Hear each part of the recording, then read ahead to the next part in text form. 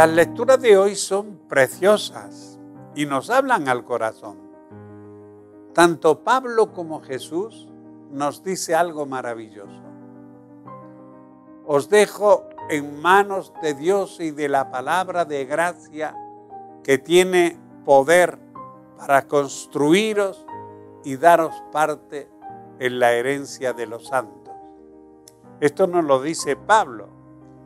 Estar en las manos de Dios y de su palabra.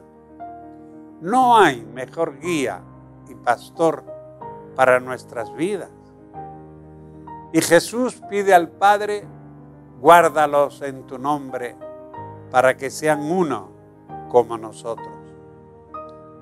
Es el deseo más íntimo y profundo de Jesús en sus últimas horas antes de morir. Que seamos uno, que permanezcamos unidos. Y hermanos, ¿cuántas veces tenemos esas discordias? ¿Cuánta violencia hay a nuestro alrededor? ¿Cuántas venganzas, rencores? ¿Cuánta soberbia hay en el mundo y en nuestro propio corazón?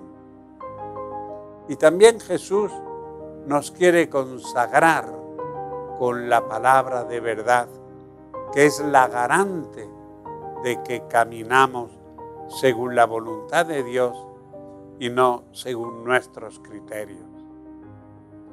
No nos apartemos nunca de este camino de unidad, de humildad y de escucha de la palabra.